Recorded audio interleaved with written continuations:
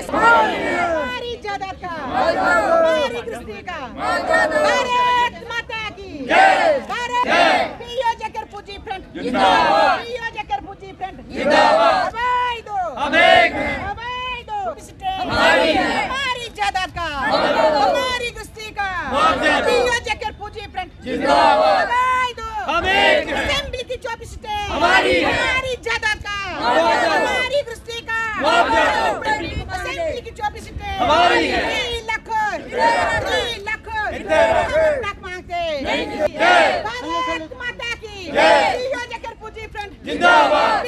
जकर पूजी front assembly की चौबीस स्टेट हमारी जायदाद का। गुंडागर्दी मैं captain Yudhvir Singh Chib president POJ के डीपीज फ्रेंड।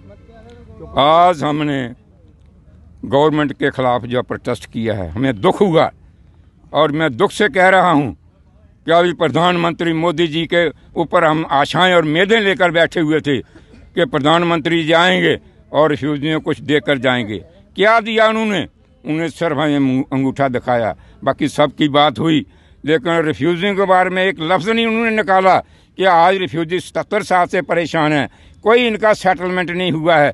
आप लोगों ने हमें पुलिस और डंडे छोटों के बगैर भगाया है। हम लोग फिर भी ज़िंदा रहे हैं। लेकिन इतना ये कहते हुए कि हम सेटल करेंगे। जब ये हुकूमत में नहीं थे, तब इतनी बातें करते थे कि हम ये करेंगे रिफ्यूजियों का फुल एंड फाइनल सेटलमेंट करेंगे। साढ़े पाँच लाख रुपया देकर हमारे मुँह में टाफी डालकर इन्होंने हमारा मुँह बंद कर दिया है। अभी ये सहन नहीं होगा। अभी भी मैं, हम थोड़ी सी मेज लेकर ये बैठे हुए हैं, जब तक के इलेक्शन का बिगल नहीं बचता है तब तक हम देख रहे हैं, उसके बाद हम भी अपना पासा पलटेंगे, दिखाएँगे गवर्नमेंट को कि रिफ्यूजी हैं या मर चुके हैं। ये वक्त आने वाला बताएगा। अभी हमारी बातचीत चल रही है और देखो क्या आगे दूसरी बरादरी जो हमारी रिफ्यूजी बरादरी है, क्या संदेश देती है, हमें क्या उनसे मिलता है, क्या हम इकट्ठे होकर एक बहुत बड़ा संघर्ष करेंगे जिससे फिर इनको पता चलेगा कि रिफ्यूजी भी कोई हैं। तो इसलिए मैं, हमारी डिमांड मोटे तौर पर है, एक तो यही है कि जो साढ़े चौबीस लाख रुपया है वो हमें दिया जाए और दूसरा, जिनके पास ज़मीन नहीं है उनको ज़मीन दी जाए। नंबर तीन, जो बाहर लोग गए हुए हैं, उनकी पॉलिसी बनाई जाए।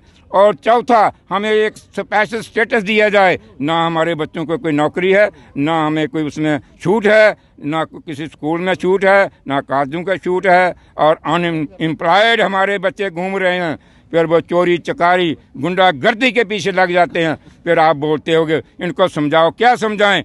एक आदमी के लिए रोटी खाने के लिए नहीं है वो क्या करेगा? वो चोरी करेगा, डाका मारेगा, या किसी का कत्ल करेगा? यही उसके पास लास्ट बचता है, बाकी कुछ नहीं है। ये हमारी मोटी मोटी डिमांड्स है, जो हम रख रहे हैं। अगर गवर्नमेंट ये इलेक्शन से पहले कर देती है तो उनका धन्यवाद होगा। नहीं तो हम हर गद बर्दाश्त नहीं करेंगे। जय हिंद।